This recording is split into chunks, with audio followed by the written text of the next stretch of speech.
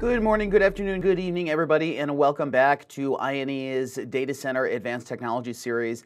In today's sessions, we're going to be starting our next major topic domain, which is the Unified Computing System, or UCS.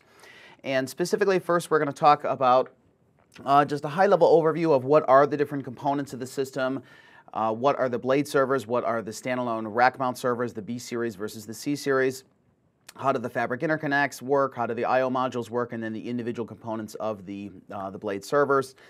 Uh, we'll then look at the basic uh, system initialization of the fabric interconnects. So how do we get access to the, uh, the management interface either from the CLI or from the, uh, the web interface from the APIs. Uh, we'll then talk about the UCS Manager, which is going to be our main GUI interface into the system. We'll also talk about the command line interface, and some of the verifications that we can do uh, from the CLI in addition to the GUI, uh, and then how we can make changes if we want to configure the system from the CLI as opposed to the web interface. Uh, we'll then uh, mainly be focusing on three main portions of the system, which are going to be LAN connectivity, SAN connectivity for storage, and then finally the service profiles, the different pools and policies, which are kind of all the nerd knobs that uh, exist in the, uh, the system overall. So for this uh, section of the course, we're going to have two different topologies. The first of which is going to be the B series blade chassis.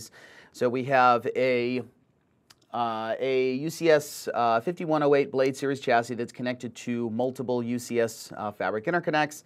The fabric interconnects then uh, connect to Nexus 5000 switches, uh, specifically 5672 uh, Gen 3 switches, both with native fiber channel ports and Ethernet ports so in terms of the storage connectivity, like we talked about in our previous uh, SAN section, the UCS supports native fiber channel. It supports fiber channel over Ethernet. It also supports iSCSI.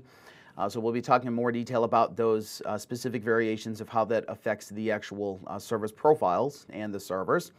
And then the second portion of the topology is going to be the standalone C-series rack mount servers which are going to be connected to fabric interconnects. In our case, we have Gen 2 fabric interconnects, the, uh, the 2200 series, that are then uh, dual home to the Nexus 5000 switches.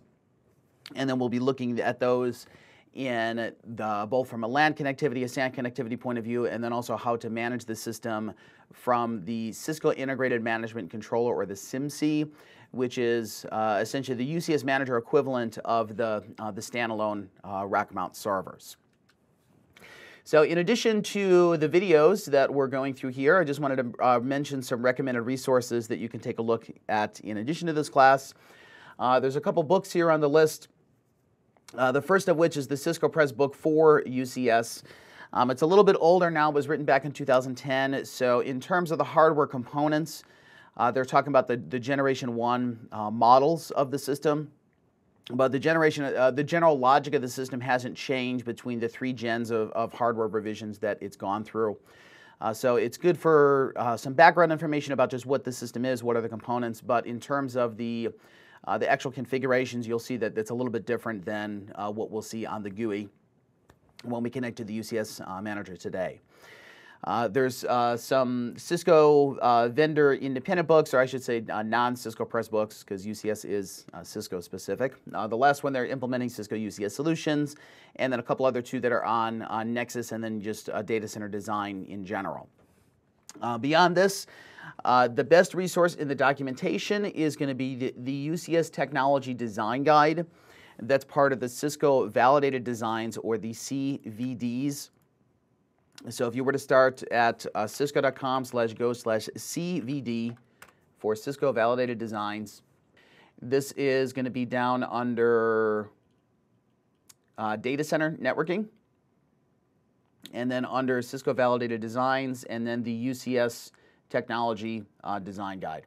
So we're going to be coming back through this in, in more detail later as we go through the individual components and, and look at how to build the system. But you could pretty much use this as an end-to-end blueprint about what are the components of the system, how do they fit together, and then specifically the implementation. How do we configure the LAN uh, side to connect to the UCS? How do we configure the UCS to connect to the LAN? How do we configure the storage networking? And then finally, how do we configure the UCS service profiles, the different pools and policies that are actually going to be associated uh, to the servers that are, that are ultimately running our uh, operating system. Then last but not least, we have a, a Cisco live presentation that is the UCS Networking Deep Dive, which is uh, session BRKCOM 2003. Uh, so I would definitely recommend uh, to take a look at that session as well. It goes into more details behind the scenes in terms of uh, the architecture of the actual blades, what are the different generations of the adapters, what are the different generations of the chipsets, and, and, and so on and so forth, and then how in detail do the blades connect to uh, the LAN portion of the system, how do they connect to the storage portion of the system, and a, a lot of these details we are going to be going through as, as we start to get deeper into uh, the GUI implementation and then also the CLI implementation. Uh, but definitely a good resource that I would recommend to, uh, to take a look at there uh, for the system overall. Okay, so before we get started on technical detail, does anybody have any questions about just the general scope of what we're going to be covering in this section of the course?